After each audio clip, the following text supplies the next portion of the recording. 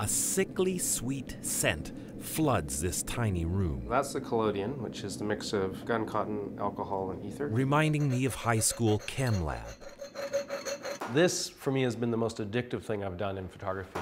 In a practical world where cell phone selfies are replacing formal portraits, Victoria photographers Quinton Gordon and partner Diana Miller thrive on the impractical, producing not only stunning images but one of a kind works of art. Start with raw materials, and 15 minutes later, you have a finished photograph in your hand. Today's cameras can shoot at one eight thousandths of a second, so why bother with 1850s technology? That impracticality, to some degree, has been part of its renaissance of, you know, the demand of kind of skill, and I think from a photographer's point of view, the, the, the love of actually sort of working in something that is not just unique, but that demands attention and skill uh, and craft.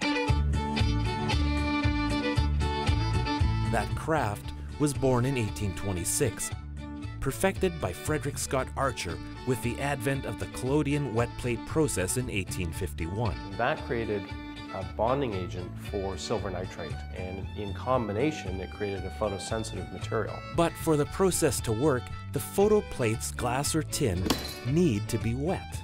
You start with a blackened plate, coat it with the collodion.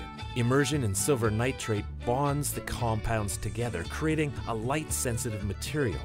This is done in the darkroom. The light energy that has to strike the plate has to come from the blue into the UV end of the spectrum. So, which is why we can work under orange lights because it's not at all sensitive to that. The tin plate then goes into the camera's plate holder, ready to shoot. Perfect. The camera's shutter opens, exposing the plate. It's then on to developing. But all this must happen quickly, Got a working window of somewhere between 5 and 15 minutes. before the plate dries out, hence wet plate photography. But the real magic happens here. Across town at Tony's portrait studio, Julie creates old time pictures. Smile. Her clients dress the part, digital images emailed instantly, a mock memory from a different age. But Quinton says that during the US Civil War, photographers set up battlefield darkrooms. The tin plates crafted were then mailed to loved ones, in many cases, the final image of a doomed soldier. Back at Lou's studio, Quinton and Diana turn the original wet plate process on its head. They've modernized it. Instant exposures because of strobe are unheard of in this process. That, even in itself, the ability to capture a momentary expression is not traditional in collodion at all. Usually you're dealing with exposures of several seconds, so it's a very different feel. Our interest is using a historical process, but to bring that into a contemporary visual language and make modern images with the characteristics that this process has. Their image plates become part of the art itself. Their unique landscapes and portraits sell worldwide. Collector's items. I have a love of the object, right? Of, of making something that is a little bit more unique, that has something of the artist in it. Each plate is an original, a one of one. The borders, the edges, the exposure itself can't be duplicated. You can have an object in your world in a way that something on a screen isn't. It can exist peripherally, which I think actually attracts people as well. And all you've used is a little bit of precious metal and water, essentially. It's hard to beat that in terms of the excitement of doing it. An excitement that enticed others to join their workshops to learn the process as well.